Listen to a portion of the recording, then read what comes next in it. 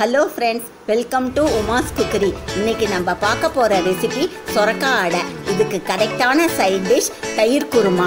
இந்த வீடியோவில் சொரக்காய் அடை எப்படி செய்யறதுங்கிறத பார்க்கலாம். இதுக்கு தேவையான பொருட்கள் இட்லி அரிசி ஒன்றரை கப் பச்சரிசி முக்கால் கப் சொரக்காய் துருவியது ரெண்டு கப் சிகப்பு மிளகாய் பன்னெண்டு சின்ன வெங்காயம் நறுக்குனது ஒரு கப் தேங்காய் துருவியது அரை கப் பூண்டு பத்து பல். தேவையான அளவு உப்பு. இட்லி அரிசி ஒன்றரை கப்பு பச்சரிசி முக்கால் கப்பு ரெண்டையும் ஒன்றா போட்டு நல்லா கழுவிட்டு மூணு மணி நேரம் ஊற வச்சுருங்க முதல்ல சொரக்காயை மேல் தோலை சீவி எடுத்துட்டு துருவி வச்சுக்கணும். சொரக்காய் முத்துனதா இருந்து விதை இருந்தா அதை எடுத்துடணும். இளம் சுரக்காயா இருந்தா அப்படியே துருவிக்கலாம்.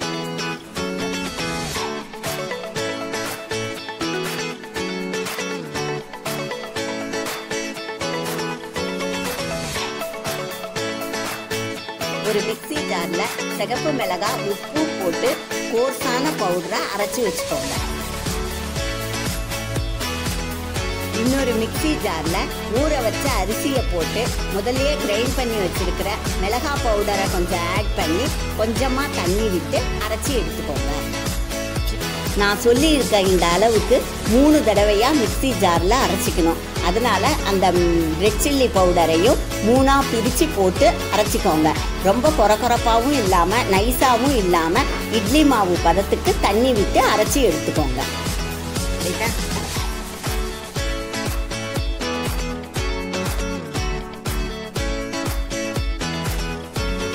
இட்லி மாவு பதத்துக்கு அரைச்சிருக்க இந்த மாவை ஒரு பவுலில் ட்ரான்ஸ்ஃபர் பண்ணிவிட்டு துருவி வச்ச ரெண்டு கப்பு சுரக்காயை இதோட சேர்த்துருங்க. ஒரு கப்பு வெட்டி வச்ச வெங்காயம் சேர்த்துருங்க. பூண்டு பல் பத்தை சின்னதாக நறுக்கி சேர்த்துருங்க. அரை கப்பு தேங்காயை துருவி சேர்த்துக்கோங்க. கருவேப்பிலைய கிள்ளி போட்டுக்கோங்க. கொத்தமல்லி தலையும் ஆட் பண்ணிடுங்க.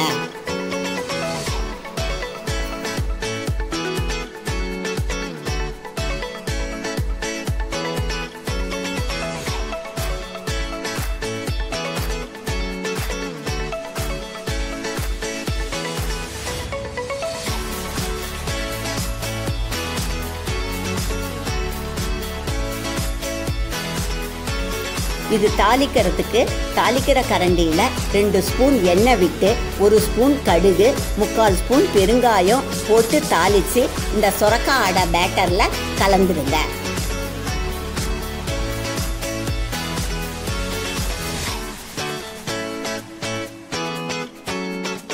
இந்த மாவில் கொட்டி நல்லா கலந்துட்டு நூற்றி ஐம்பது எம்எல் தண்ணியை விட்டு நல்லா கலந்துட்டு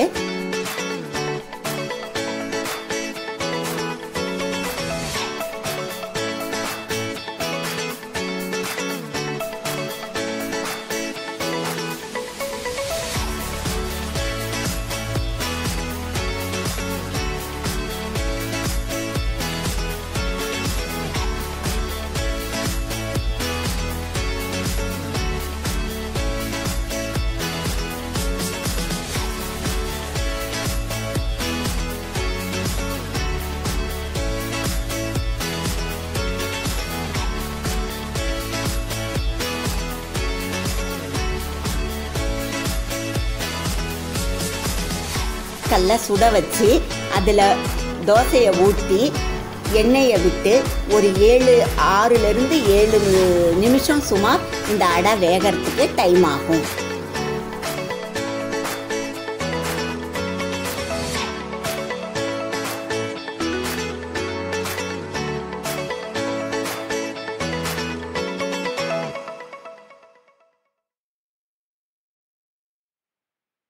இதை திருப்பி போட்டு ஒரு மூணு நிமிஷம் விட்டு ஓரங்கள் நல்லா செவந்து கிறிஸ்பியாக வர்ற அளவுக்கு எடுத்துக்கோங்க